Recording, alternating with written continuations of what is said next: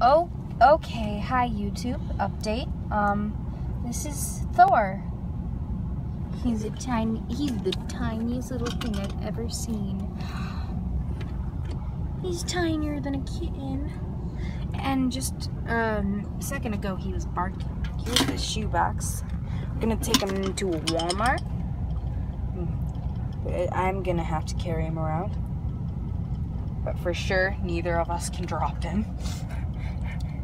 He's a teacup chihuahua. Mom, can you put him back in the box? Well, he wants to be close. Just so you know, yeah, he wants to to be people. close. Wants to stay warm and stuff. He's got sharp This little is claws. Thor. Mm, Thor. Thor, can you say hi? Can you say hi, Thor? Don't want to point it in his eyes. Oh, you have the oh, little, teeny trimmers. Little trimmers.